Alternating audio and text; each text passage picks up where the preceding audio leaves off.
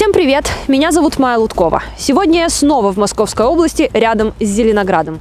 Оказалось, что здесь гораздо больше брошенных недостроенных домов, чем я могла себе представить. Эти люди купили квартиры в ЖК Митина Дальняя. Вон, видите, скелет по фону стоит. Уже больше трех лет Дольщики не могут получить ключи от своих квартир и платят ипотеку за дома, которых нет. Обманутыми, без денег и жилья остались больше 800 семей.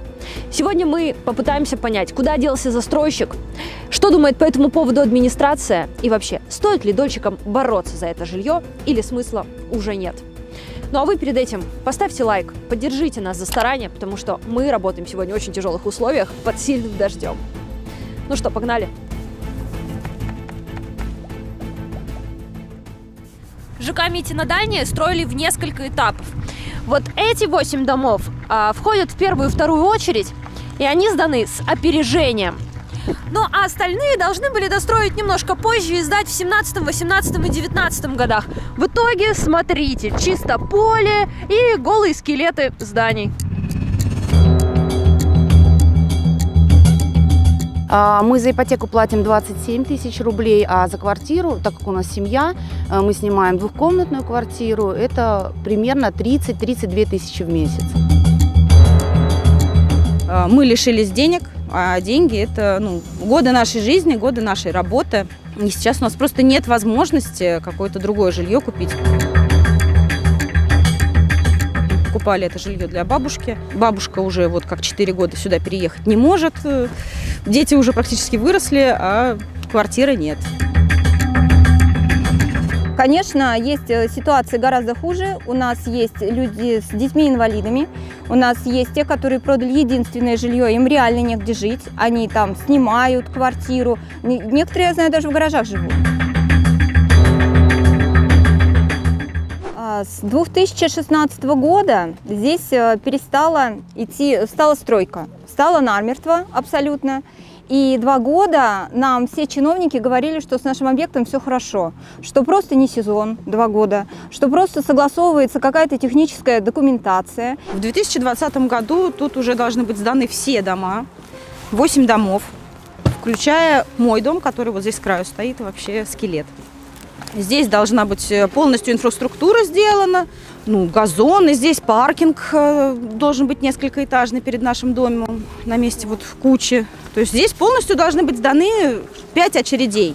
У нас по проекту здесь есть школа, детский сад, э, торгово-административный центр, как бы вот. Очень красивая. Да, очень красиво, да, вот можно погулять. Да,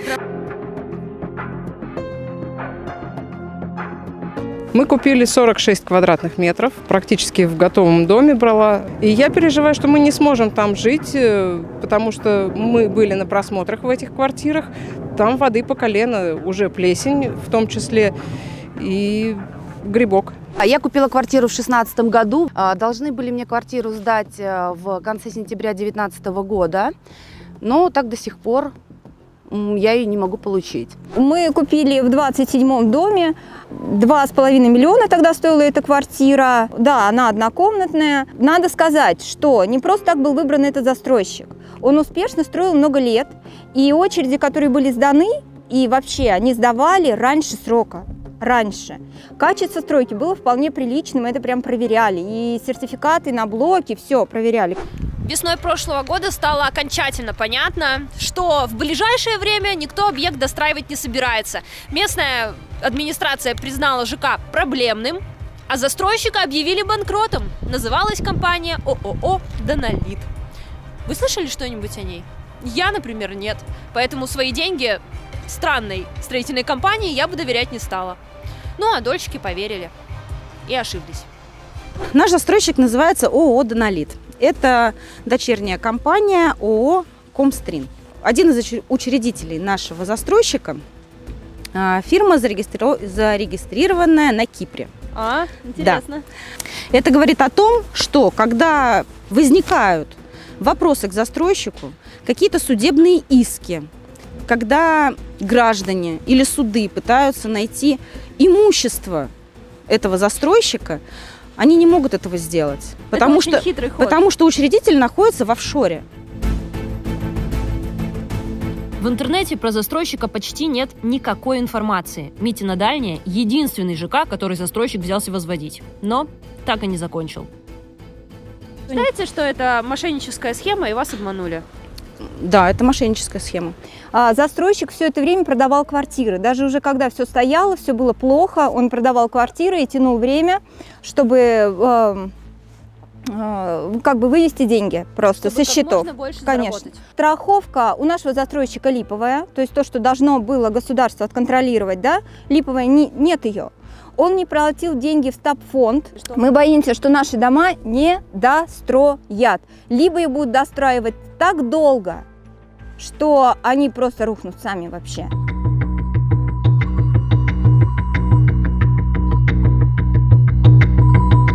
Важно понимать, что сдвинуть ситуацию с мертвой точки дольщикам удалось только объединившись в инициативную группу. Просто так никто бы на них внимания не обратил.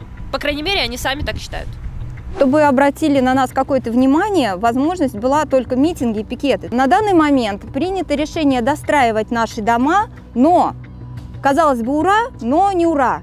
Потому что эти дома могут так и не достроиться, самое интересное. У нас есть пример других ЖК, которых принято достраивать уже с 15 июля, и вчера к ним въехала одна фура только. То есть нам обещают ключи через два года, но это только обещание. Э, Активные действия дольщиков привели к тому, что наш объект был включен в список проблемных. Это единый реестр проблемных объектов в 2019 году в апреле. В июне этот реестр закрыт. В него больше не включают на тех основаниях, на которых были включены наши дома. Э, э, э, пос- Это да, это нам помогло в последний вагон впрыгнуть э, по государственным программам. Сегодня на встречу мы приглашали замглавы администрации Солнечногорска Никиту Никулина, с которым вы уже знакомы по предыдущим выпускам а, о дольщиках, в частности ЖК «Белый город» и ЖК «Елкина». Но сегодня воскресенье, он не приехал. Тем не менее, давайте попробуем позвонить Никите Александровичу и узнать.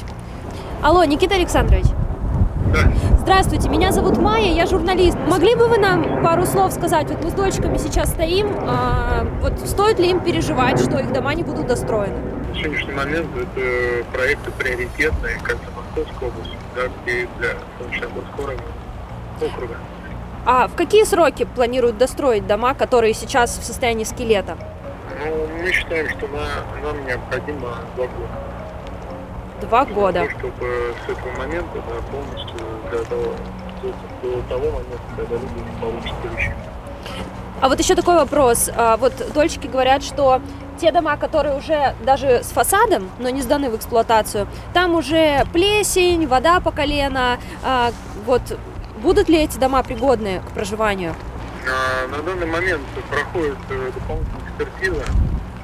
Вот. Э, Мы считаем, что эти дома абсолютно можно реанимировать, то есть и в них э, возможно проживать. Поняла, спасибо вам большое.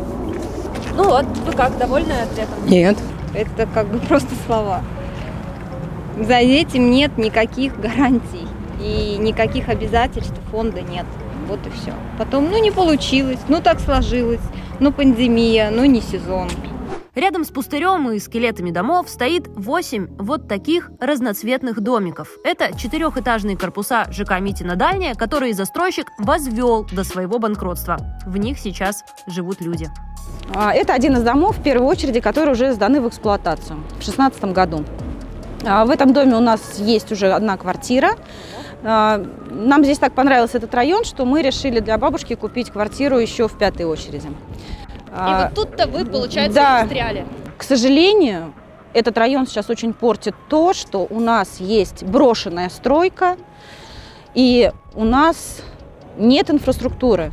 То есть то, на что люди рассчитывали, покупая здесь жилье, здесь нет, по сути, ни магазинов, ни школы, ни сада, ни поликлиники. А, Квартиру мы посмотреть не можем, потому что Галина ее сдает в аренду, но хотя бы подъезд мы можем заценить. Достаточно ярко и простенько. Ну, чистенько, простенько. Такой, да, эконом-класс. А вам как? Нормально, не хуже, чем в Москве. в аналогичном жилье. Такая отделка типичная. То есть получается 6 квартир на этаже здесь. Видите, такой светлый коридорчик. Цифра 1. Первый этаж. Здесь люди хранят свои велики. И лестница наверх. Лифта здесь нет, потому что в доме всего 4 этажа. Зачем же нужен лифт?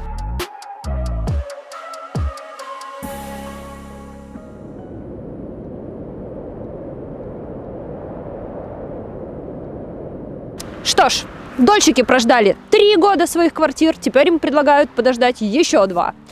Надеюсь, что все не напрасно, и они все-таки смогут заехать в свои уже достроенные корпуса. Я считаю, что о таких историях нельзя молчать. Нужно рассказывать о проблемах дольщиков как можно чаще, чтобы дело двигалось с мертвой точки. В свою очередь, я буду следить за этой ситуацией. И, знаете, в историях ЖК Ёлкина и Белого города, о которых мы тоже снимали выпуски, уже есть некий свет в конце туннеля. Например, представитель администрации района нам рассказал, что в ЖК Ёлкина уже 45 семей получили ключи от своих квартир, и до Нового года, скорее всего, корпуса будут полностью заселены. Меня это не может не радовать. С ситуацией ЖК «Белый город», который тоже здесь, кстати, находится недалеко, все сложнее. Но, тем не менее, в администрации обещают, что в январе следующего года ковши эскаватора там будут уже видны. Будем и дальше следить за развитием событий и рассказывать вам о том, как продвигается дело. Ну а теперь настала ваша очередь делиться своим мнением в комментариях. Я обязательно все почитаю. Ну и поддержите меня, пожалуйста, лайком. Мне будет приятно, и мне важно знать, что вам не все равно. Я стараюсь для вас, чтобы вам было полезно и интересно. Подпишитесь на этот канал, кто этого еще не сделал, и нажмите на колокольчик, чтобы не пропустить следующие выпуски этого блога. Меня, как всегда, зовут Майя Луткова. Увидимся. Пока.